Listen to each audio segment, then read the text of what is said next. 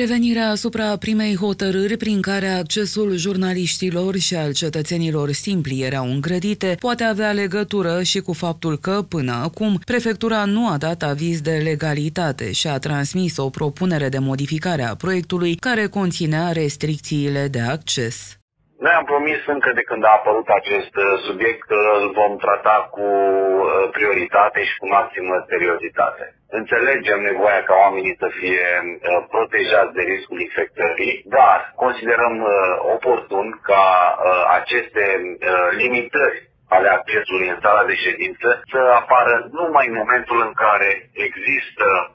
la Buzău uh, un risc de infectare uh, cel puțin mediu. Așadar, noi am propus chiar și prin adresă oficială transmisă primăriei Buzău am propus instituirea unor praguri în baza cărora să se activeze prevederile din cele două alineate. Și am dat și un exemplu, se pot aplica acele limitări, când pentru câteva zile consecutive, am zis noi trei, DSP va raporta în județul Buzău mai mult de 50 de infectări și ridicarea restricțiilor atunci când pentru câteva zile, am zis noi 5 zile, în județul Buzău DSP va raporta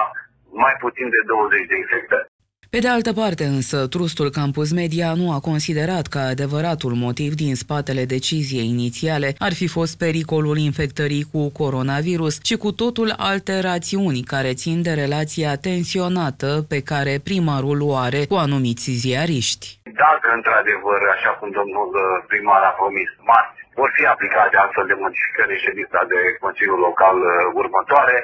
subiectul va fi închis. Eu cred că propunerea noastră a dovedit uh, uh, responsabilitate și maturitate și cred că